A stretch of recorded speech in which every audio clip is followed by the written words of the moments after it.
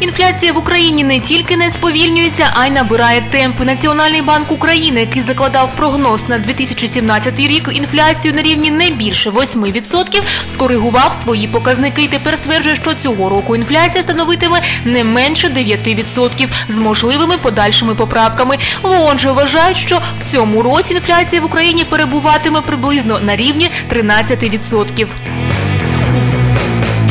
В Україні ввели податок на транспорт, причому їх аж чотири. Згідно з нововведеннями, тепер власники автомобілів з об'ємом бензинового або дизельного двигуна понад 3 тисячі кубічних сантиметрів віком до 5 років змушені будуть сплачувати річний податок в розмірі 25 тисяч гривень.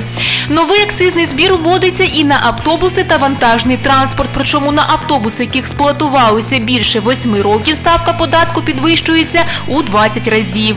Вантажівки, які перебували у вжитку не більше 5 років, ставка акцизу зростає в 2 рази, а на ті, яким більше 8 років – в 20 разів.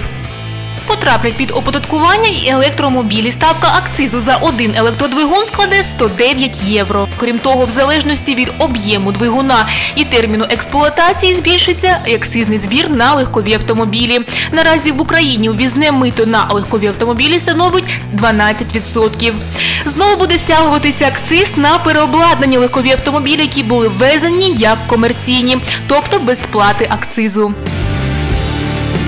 На минулому тижні Кабмін розподілив 6,5 мільярдів гривень на озброєння і техніку Збройних сил України за стандартами НАТО, з яких 5,6 мільярдів гривень виділено на закупівлю та модернізацію озброєння та військової техніки, 520 мільйонів на проведення науково-дослідних та конструкторських робіт, ще 242 мільйони гривень на створення єдиної автоматизованої системи управління Збройних сил України.